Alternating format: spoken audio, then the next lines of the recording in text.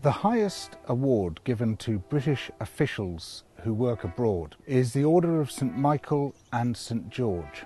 This consists of a star with a little enamelled painting, and the painting shows the angel St Michael standing on the neck of the devil, and the devil is a black man. This image is very similar to one that we've become familiar with a policeman kneeling on George Floyd's neck as he says, I can't breathe.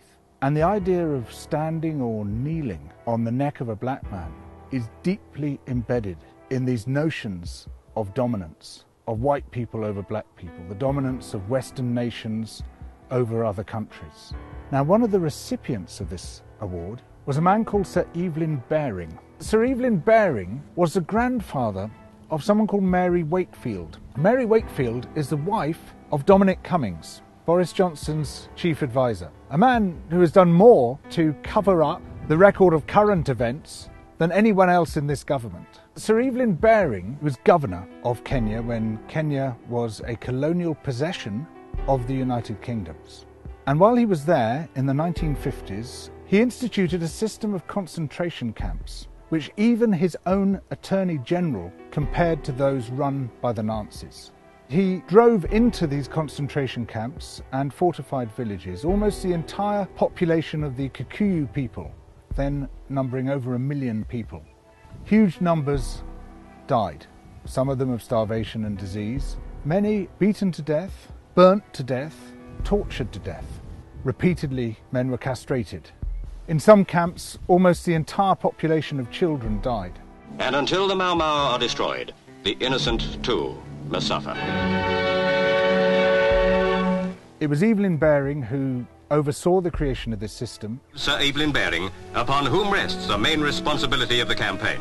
We are making progress in that struggle, and we are all confident that in the end we will succeed.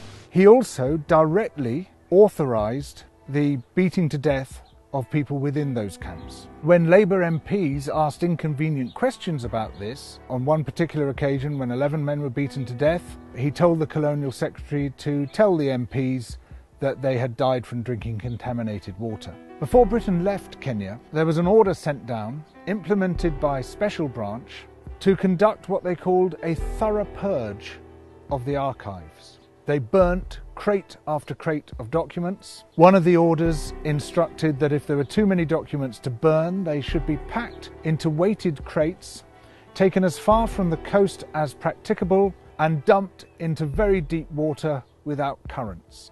They erased not only the evidence of what happened in Kenya, but much of what happened in Malaya. The British troops in Malaya, slowly but steadily, are smashing the Reds' reign of terror, and they'll keep at it till the job's done in Yemen, where Britain fought its dirty war, in Aden. We're going to be extremely firm and uh, extremely mean. If anyone starts any trouble, they'll just get the head blown off. Uh, they'll get the message in time, you know. We remember all this in the context of Boris Johnson telling us that to pull down statues is to lie about our history. The entire history that we are told about British imperialism is a lie. We, as a nation, have a greater level of pride in our empire than any other European nation. People look back with nostalgia to Britain's imperial past. That's impossible to understand unless we understand the massive fabric of lies, of deletions, which has airbrushed the colonial atrocities practiced everywhere we went. Imperialism has long been justified through the notion that the white man had a duty to civilize the so called other races. Racism is an ideology, and to a very large extent it was created by British theorists. You can take it back to the late 18th century and the work of a physician called Charles White, who was one of the people who formalized this idea that there's a sort of ladder of life. And the white man is at the top of that ladder. And below the white man on the ladder is a white woman. And below that were people with dark skin. That ideology remains with us today. It's that ideology which led to the policeman kneeling on the neck of George Floyd, institutional racism, to systemic racism. And a huge part of that ideology began here in the United Kingdom to justify our seizure of other people's resources and other people's lives. These relationships continue by other means through our trade relationships today, which are often highly coercive, enforced by offshore tribunals of corporate lawyers, basically forcing countries to give up their natural resources, enforced by international debt, and what we see is a net drain of wealth from the poor nations into the rich nations.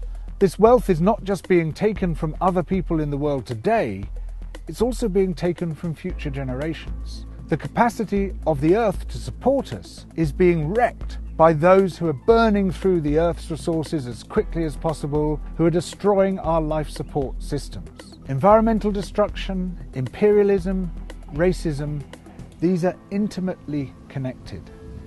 They all mesh together as part of a global system of injustice. It's not just the bad stuff in history that they don't want us to see, it's also the good stuff the massive role of the slave revolts and rebellions, of the slaves themselves and the ex slaves, who through their advocacy managed to generate a huge amount of outrage about the slave trade and what it involved. Similarly, the history of resistance and rebellion within these shores, a huge range of people's movements amongst the working classes, amongst the middle classes, trying to create a better, juster, more democratic nation, often hundreds of years before their visions came to fruition. And by learning from that history, as well as by learning from our history of atrocities, these two hidden histories, we can begin to understand where we stand, why we are where we are, and how, from that position, we can start to build a better world. Double Down News brings the big issues together. It shows how they fit into the wider story the story of where we are and how we got here, and the story of how we need to change, how we need to build a better world. So please support Double Down News through Patreon and allow this journalism to flourish.